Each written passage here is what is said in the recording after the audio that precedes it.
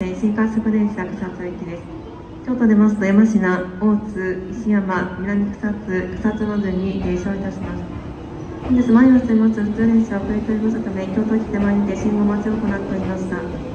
約3分遅れて京都駅に到着をしております。ご利用のお客様には電車到着遅れましたことをご了承います。到着いたしましても、ロープが上がりきるまでは、ホーム柵から